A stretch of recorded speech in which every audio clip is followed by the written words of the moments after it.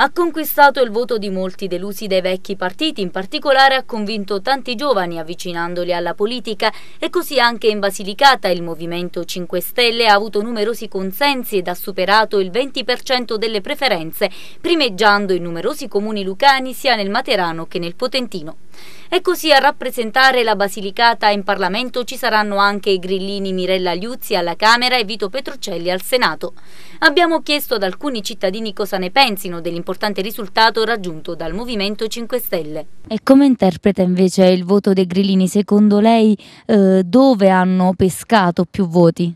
Beh, soprattutto nei giovani, nei giovani e in quelli esodati che non hanno trovato più lavoro, che hanno problemi di sopravvivenza vera e propria. Tra i giovani del Partito Democratico, dai giovani perché sono scontenti chiaramente, stiamo vivendo un'era molto difficile, non c'è lavoro. Non...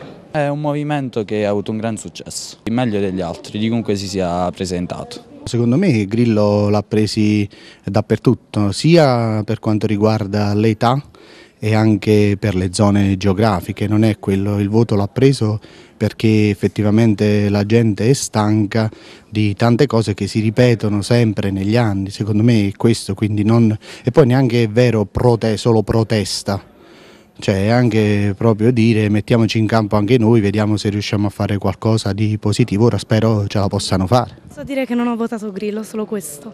Diciamo che non rientro nel mio modo di vedere le cose. Incertezze comunque restano per il futuro, ma l'auspicio... Bersani dovrebbe chiamare Grillo e fare, mm, stabilire cinque punti, cinque riforme che a incominciare dal, dalla legge elettorale che non va perché oggi si hanno due metodi di misura sia alla Camera che al Senato e questo ha comportato un grosso rischio per la governabilità del Paese. Io spero si possa cercare la soluzione, non importa tra chi, però si possa cercare ed ottenere al più presto la soluzione perché certamente la posizione di stallo è quella più negativa per un paese che oltretutto deve riprendersi da una grandissima crisi globale ma anche interna.